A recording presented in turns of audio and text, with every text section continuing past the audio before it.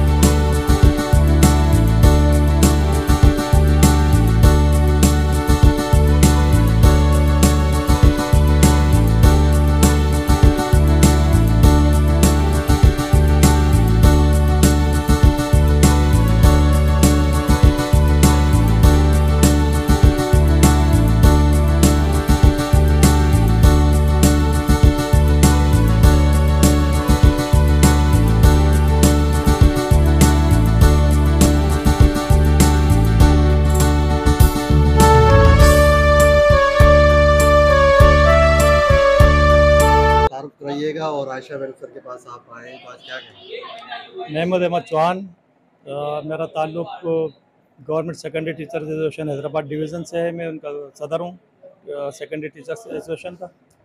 मैं यहाँ पर आया, इन्होंने मुझे दावत दी थी और अपना प्रोग्राम जो है चला रहे हैं।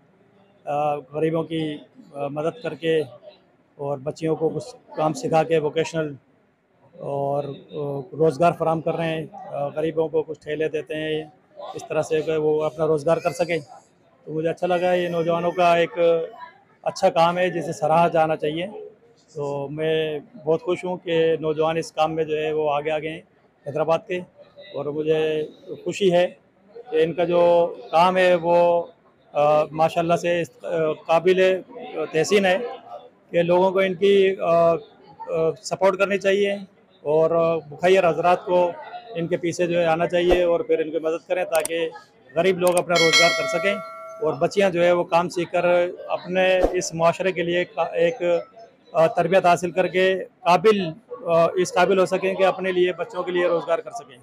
ये मुझे बहुत अच्छा लगा, एक छोटी सी उनकी एसोसिएशन है, लेकिन ये जिस तरह से काम कर रहे हैं मेहनत से तो ये दिन दुगनी, रात चुगनी में तरक्की करेगी इन जी, आयशा वेलफेयर जो ऑर्गेनाइजेशन, ये जो चला रही है मैडम है, महक मैडम आए, इनसे बात करते हैं। जो ये हर माह राशन गरीबों में देती हैं और ज़ाहिर लोगों को रोज़गार फराम करती है। काफ़ी सारे ऐसे इनके काम चल रहे हैं। तो आज इस मौके पर ये क्या कहेंगे, इनसे जानते हैं। जी मैडम। बिस्मिल्लाहिर्रहमानिर्रहीम। अस्सलाम वालेकुम जैसे कि मैं आपको बताऊँ कि आयशा वेलफेयर 2018 30 मई को हमने स्टार्ट लिया था और माशाल्लाह जब से लेकर अभी तक जितने भी आयशा वेलफेयर के मकासद थे, हम सबको साथ लेकर चले और अल्लाह ताला ने हमें सारे अपने मकसद में कामयाबी दी। जिस तरह हमारी हर महीने राशन की तकसीम हो गई, फिर रोज़गार फराहम करना हो गया कि हमने काट, हमने कांटा दे दिया मछली, अब आप खुद पकड़ो। इसके अलावा हमने लड़कियों को हुनरमंद करना है, वो भी माशाल्लाह हमारा सेंटर अब चल रहा है और माशाल्लाह बहुत अच्छी तरीके से रन किया हुआ है। उसका भी फोर एनुअल प्रोग्राम हमने आपको आठ मार्च को बताया था। इसके अलावा यतीम बच्ची की शादी करवाना, माशाल्लाह वो भी हमारा प्रोजेक्ट हम लेकर चल रहे हैं। और अब जो है आयशा वेलफेयर की जानब से हम एक स्कूल का इफ्तः करें। इनशाला इनशाला ईद के चौथे दिन एडमिशन्स होंगे। उसमें 20 बच्चों को uniform free course free admission free और हमें बच्चों के फ्यूचर से खेलना नहीं है, इसीलिए हमने अपने स्कूल का जो नाम रखा है, वो चाइल्ड फ्यूचर स्कूल ताकि चाइल्ड के जो बच्चे का हम फ्यूचर सिक्योर कर सकें। और इनशाला ये मकासद भी हमारा जल्दी ही पूरा होने जा रहा है। इसके अलावा आयशा वेलफेयर से हमें बहुत सारे काम करने हैं और इसमें आप लोगों की हेल्प और सपोर्ट बहुत ज़रूरी है। अब हम बताते चले जो इस रमज़ान का हमारा पैकेज था, पहला जो हमारा रहा बचत बाज़ार, फिर हमने इफ्तार बॉक्स भी तकसीम किए, माहाना जो राशन की तकसीम होती है तो सालाना हमारी डेढ़ सौ बैग हो जाते हैं, वो भी आज हो चुका है। फिर अब जो है अगले जुम्मे फिर बचत बाज़ार है, फिर हमारा ईद बाज़ार है तो ये दो जो अभी हमारे काम रहेगा इन्हें अभी कामयाब करने के लिए हमें आप लोगों की बहुत ज़्यादा मदद की ज़रूरत है। तो इसलिए मैं आपसे सिर्फ़ अपील कर रही हूँ आयशा वेलफेयर की, जनरल सेक्रेटरी के, अपना ज़क़़त, फितरा, सदका, खैरात और ज़क़़त आयशा वेलफेयर में दें। आयशा वेलफेयर का पता है, पुलेली दालपाड़ा नादर ऑफ़िस के यहाँ आप आकर जैसी चाहे वैसी मालूम भी ले सकते हैं। इसके अलावा अगर आप घर बैठे भी ये सब चीज़ें देना चाहते हैं तो हमारा जो नंबर है ज़ीरो तीन सौ बारह तेरह बत्तीस सात सौ छत्तीस। आप हमारे नुमाइंदे को कॉल कर कर भी बुलाकर दे सकते हैं।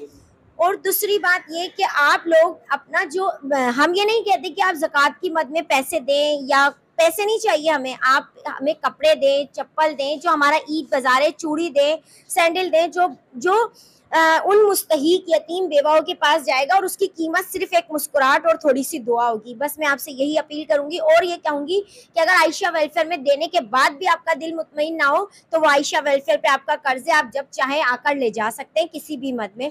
और बस मैं इतना ही कहना चाहती हूँ कि आयशा वेलफेयर जिस तरह कम फंड में बहुत अच्छे अच्छे काम कर रही है और माशाल्लाह आयशा वेलफेयर की टीम आप देख रहे हैं मेरे साथ भरपूर तरीके से जुड़ी हुई है। और बस मैं यही कहूँगी कि आयशा वेलफेयर की सपोर्ट करें ताकि आयशा मर जाए आयशा वेलफेयर ना जी नाजरीन बिल्कुल आपने देखा पूरा कंप्लीट आपको प्रोग्राम हमने दिखाया। तो आयशा वेलफेयर किस तरीके से दुखी इंसानियत की खिदमत कर रही है इसी के साथ अपने मेज़बान सदीक अली राना को दीजिए इजाज़त अपना बहुत सा ख्याल रखिए अल्लाह